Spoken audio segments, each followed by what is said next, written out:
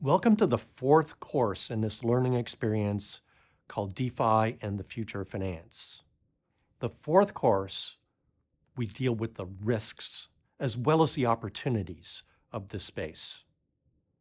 So this is a new technology, and there's a, a large uh, number of risks. So within this, um, this course, we'll talk about many different sources of risk. So we start with smart contract risk. We talk about governance risk, DNS uh, exploit, uh, Oracle risk, um, decentralized exchange risk, custodial risk. We talk about the important problem of scaling. And by that, I mean that we need much more throughput in terms of transactions per second than we've got uh, right now. We'll talk about regulatory risk, uh, including the threat of uh, or opportunity of central bank uh, digital currencies. And we'll also talk about the environmental impact of this particular space. And I'll do some calculations in terms of the amount of carbon that's being used, and we'll have some commentary uh, on the future. Um, I'll also talk about my vision for this space.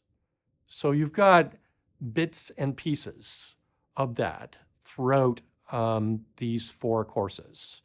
But what I'd like to do is to put it all together uh, in the end and talk about where I see the space going and the challenges that it faces and who will be the winners and who will be the losers. I can't tell you exactly who the winner and losers are going to be. So I cannot see the future perfectly. I do have some ideas, and it's kind of my job uh, to give you uh, those ideas. So to start with, it's important to realize that the types of risks that we're dealing with in decentralized finance are different than the type of risks that we face in centralized finance. So, so this is a new technology. And already you've seen that some types of risks uh, appear to disappear.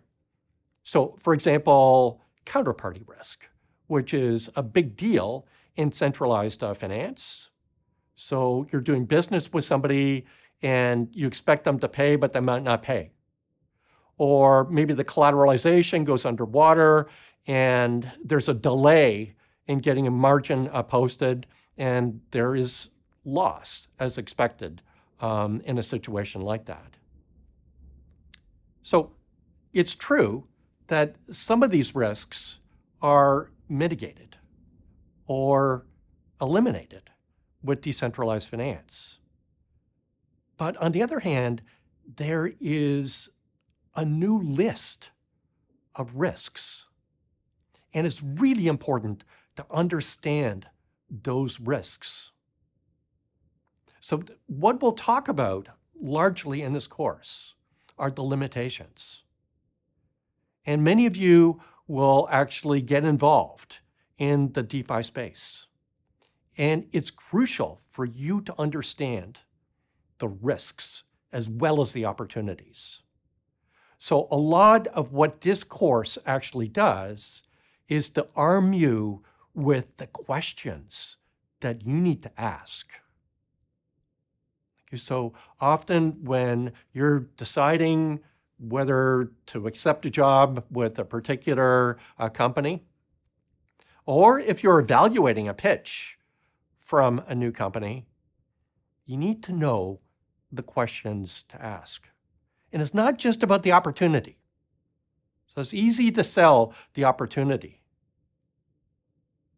But what I'm talking about is the management of the risk.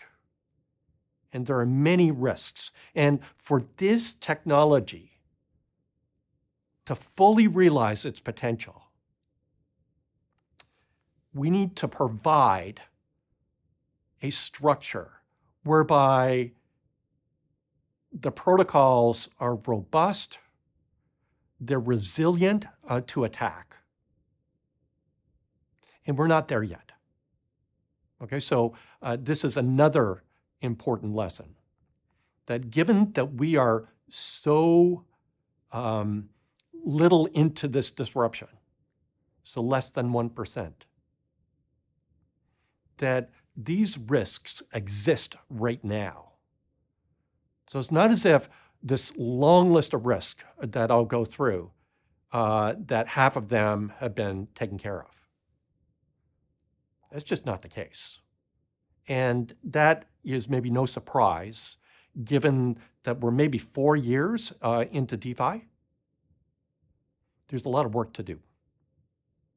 And again, in joining a company or investing in a company, you need to hear from the company as to how they will deal with these risks and their opinion in terms of how this space will actually uh, play out. Okay, so again, I will arm you with the right questions to ask. And I will also speculate in terms of how this will play out uh, in the future.